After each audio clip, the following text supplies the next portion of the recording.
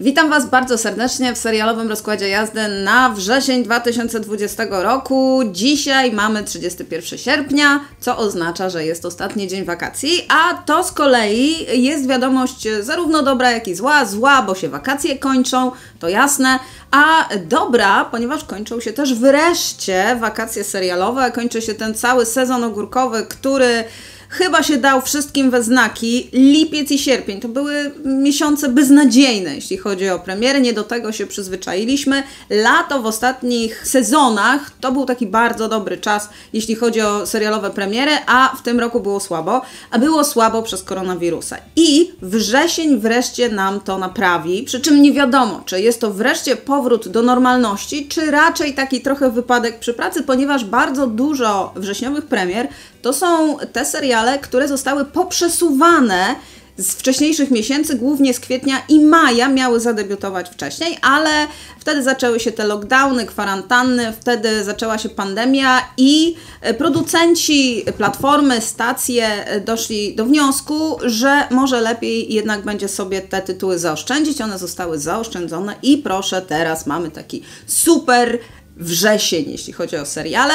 E, oczywiście pełną listę premier i powrotów znajdziecie w opisie tego wideo. E, jeżeli czegoś tam nie będzie, to uzupełniajcie na bieżąco w komentarzach. E, ja też absolutnie nie obiecuję, że tam jest w 100% wszystko. Jeżeli będzie coś przeszkadzało w tym odcinku, to są to koty, ponieważ nad nimi absolutnie nie panujemy. Teraz jak to nagrywam, to jeden mi przechodzi tutaj przed nosem, a drugi drapie, ale takie jest życie z trzema kotami w domu. A teraz przejdźmy oczywiście do naszej listy najciekawszych premier i powrotów września.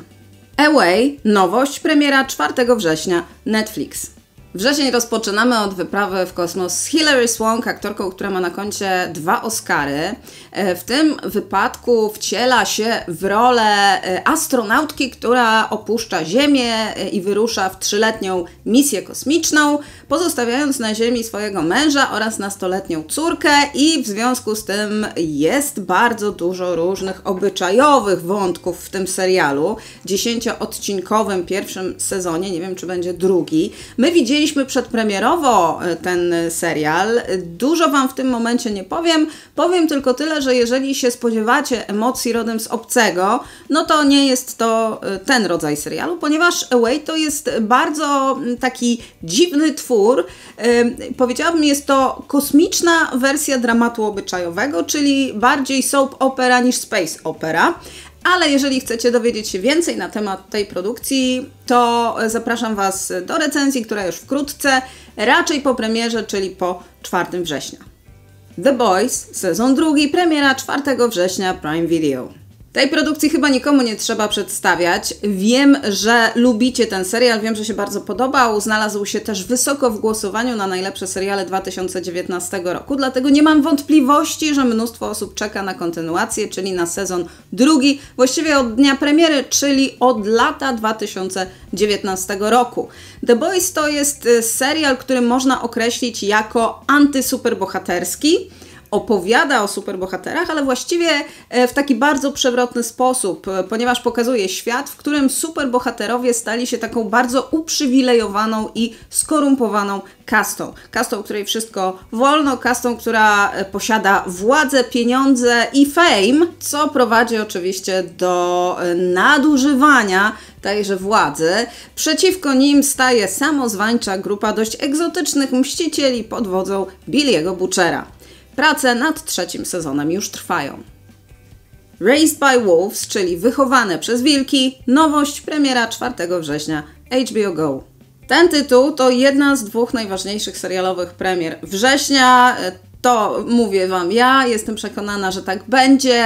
Jest to o tyle zaskakujące, że jeszcze jakiś miesiąc temu nie wiedzieliśmy, że Raised by Wolves w ogóle w Polsce się pojawi, że będzie do obejrzenia na HBO Go, a jest to produkcja HBO Max.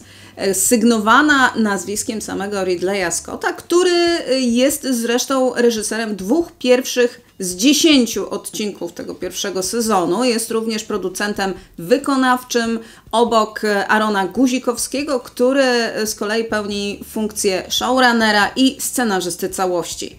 W skrócie, Race by Wolves to science fiction o androidach wychowujących ludzkie dzieci po tym, jak Ziemia została zniszczona. Czy udane opowiemy Wam w przedpremierowej recenzji, która na kanale już wkrótce. The Third Day, nowość, miniserial, premiera 15 września, HBO Go. Na początku tego odcinka wspominałam, że kilka premier wrześniowych to są seriale, które miały zadebiutować wcześniej i The Third Day właśnie takim serialem jest, ponieważ oryginalnie planowano go na maj. Jest to sześcioodcinkowy miniserial z Judem Law i Emily Watson.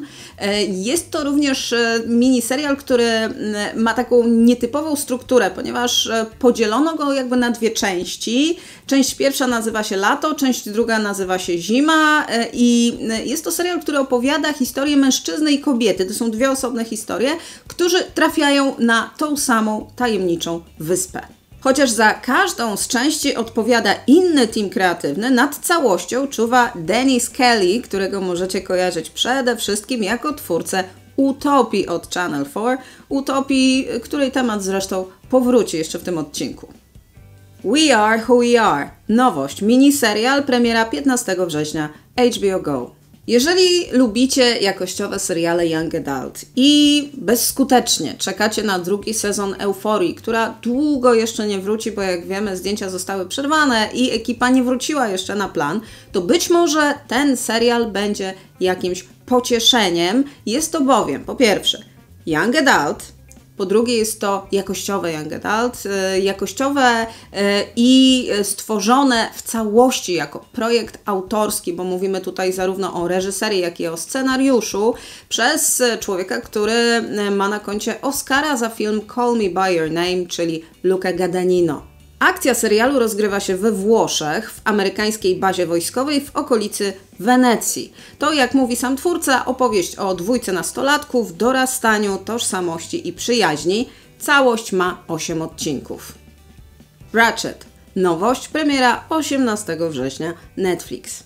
Ryan Murphy ma tak bardzo wyrazisty styl, że nawet jeżeli jakiegoś serialu nie reżyserował, tylko po prostu koło niego stał, to i tak można odnieść wrażenie, że to jest e, jego autorska produkcja.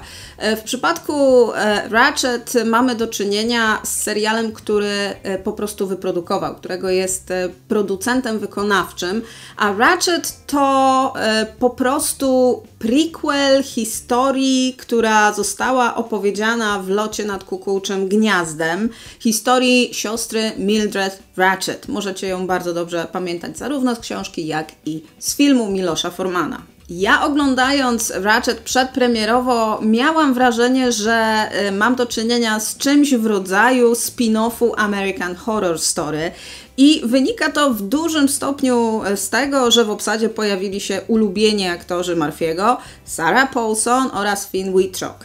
W pozostałych rolach przewija się oczywiście cała plejada gwiazd z Sharon Stone na czele, a zdjęcia powstawały w okolicach Monterey.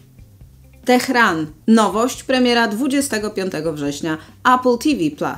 Amerykanie może kręcą najpopularniejsze seriale świata, ale to w Izraelu pisane są najoryginalniejsze, najciekawsze scenariusze. Mogłabym e, siedzieć i wymieniać po prostu bez końca e, te formaty amerykańskie, które zostały oparte na izraelskich, oryginalnych pomysłach, z Homeland na czele.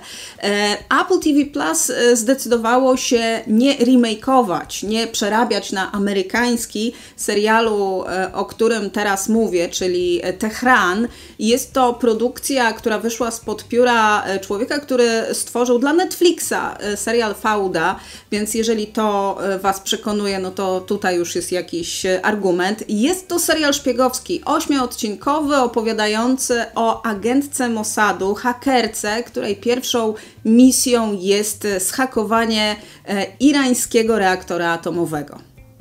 Utopia. Nowość, premiera 25 września, Prime Video. Przyznam, że nie sądziłam, że kiedykolwiek to ostatecznie nastąpi, szczególnie po całej serii różnych e, turbulencji, które były związane z tym e, tytułem.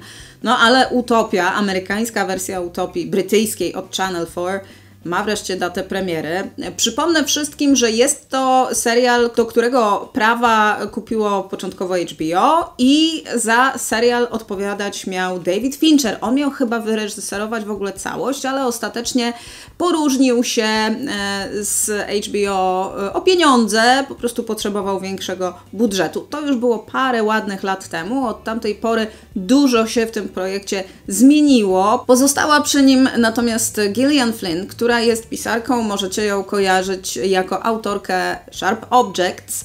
E, w jednym z wywiadów zapowiadała, że w porównaniu z brytyjską utopią w amerykańskiej będzie mniej przemocy w tych dziewięciu odcinkach, które zapowiedziano. Nie wiem, czy to dobrze, czy to źle, natomiast będzie sporo paranoicznej atmosfery. Widzieliśmy zwiastuny i e, rzeczywiście trochę tej paranoicznej atmosfery tam jest. Nie wiem, czy to jest dobry moment na paranoiczną atmosferę, bo przyznacie, że w realu też jest dosyć paranoicznie i nie wiem, czy to w ogóle dobrze, że Utopia doczekała się tej amerykańskiej wersji, no ale z ciekawości obejrzymy. Fargo, sezon czwarty, premiera 27 września, FX. Ta premiera miała już mieć miejsce pod koniec kwietnia tego roku, ale niestety okazało się, że serial nie wystartuje. Nie wystartuje zarówno w Stanach, jak i w Polsce, gdzie też miał już zapowiedzianą premierę na HBO Go. E, niestety okazało się, że brakowało jakichś dokrętek i w związku z tym, że plany zdjęciowe stanęły, nie można było tego zrobić. Teraz widać się już udało, ponieważ FX ma już nową datę premiery wrześniową. Wiadomo, że serial już na pewno teraz wystartuje. Nie ma natomiast niestety e, daty premiery polskiej, co trochę mnie martwi, ale być może poznamy ją w ostatniej chwili, jak to się e, teraz dzieje. Często jesteśmy w ten sposób zaskakiwani. Najnowsza, czwarta odsłona e, antologii autorstwa Noah Hawley będzie rozgrywać się w 1950 roku w Kansas City, a w jednej z głównych ról wystąpi Chris Rock. The Kami Rule, nowość, miniserial, premiera 27 września, Showtime. Ten serial ma podobno rozwścieczyć Donalda Trumpa, a tak przynajmniej zapowiadają twórcy mm, tego zaledwie dwuodcinkowego miniserialu w wywiadzie, e, którego udzielili e, Vanity Fair. E, jest to serial oparty na memuarze byłego dyrektora FBI Jamesa Comeya, który mm, opisywał w swojej książce kulisy wyborów 2016 roku, wyborów prezydenckich w USA.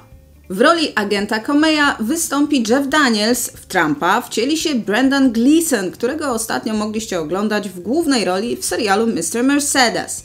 W pozostałych rolach pojawiał się m.in. Holly Hunter i Michael Kelly. Poza tym we wrześniu swoje premiery i powroty mają. Young Wallander. Nowość premiera 3 września. Woke. Nowość premiera 9 września. Julie and the Phantoms, nowość, premiera 10 września. The Duchess, nowość, premiera 11 września. Baby, czyli Rzymskie Dziewczyny, sezon trzeci, premiera 16 września. Patria, nowość, premiera 27 września. Tyle jeśli chodzi o wrześniowe premiery i powroty. Ja o większej ilości tytułów nie słyszałam, ale jeżeli byście słyszeli, to oczywiście piszcie w komentarzach, pełna lista w opisie.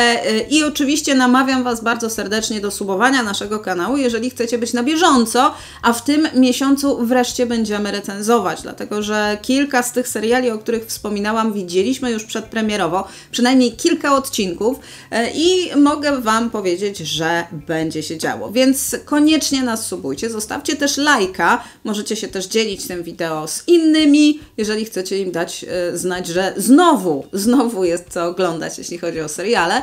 No i oczywiście zapraszam Was na nasze media społecznościowe, czyli na Facebooka, Instagrama i Twittera. Dzięki!